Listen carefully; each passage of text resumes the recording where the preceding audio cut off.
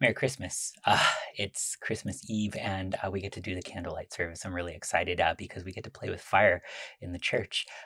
I love the candlelight service because, well, light has come in to confront the darkness and the darkness cannot overcome it. God becomes man. See, Christmas Eve is more than just sort of like a two minute dose of nostalgia where you sing Silent Night and play with fire, but not enough to get in trouble with by anybody who's a responsible adult around you.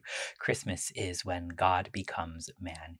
Uh, the angel chorus breaks into the darkness and the quiet and the fear and the foreboding and the guilt and the shame and the death and the despair and sings, Fear not, for behold, I bring you good news of a great joy that will be for all people. For unto you is born this day in the city of David a Savior who is Christ the Lord. This is a promise given to shepherds who stood in field, but it was older than time. The Son of God would be slain to redeem his people. It is a promise that was given all the way back to Adam and Eve in the garden, to Abraham, to Isaac and Jacob, to the prophets, to the apostles, to you. And this promise is not meant to be sort of stuck in a nostalgia from years past before we had cell phones and LEDs and we had to use candles at night. It was actually to confront darkness and there is something real and raw about the candlelight service because it's not just pretending to go back in time it is bringing everything into the present tense.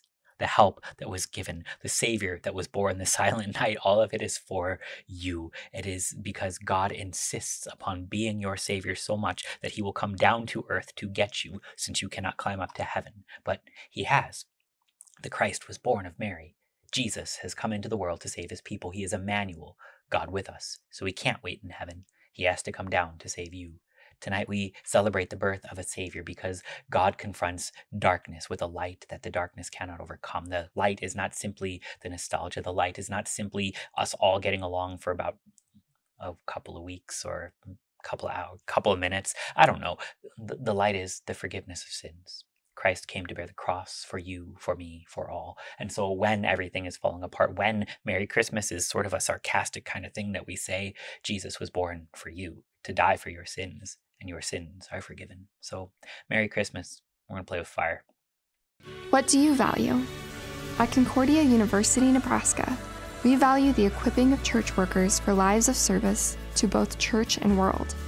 In a culture where our faith can often be met with derision, our world needs ardent Christian leaders to rise to the helm and steer the next generation of Christ followers into new territory. You have the God given gifts, we have the tools to uncover and develop them. We are Nebraska's university with values.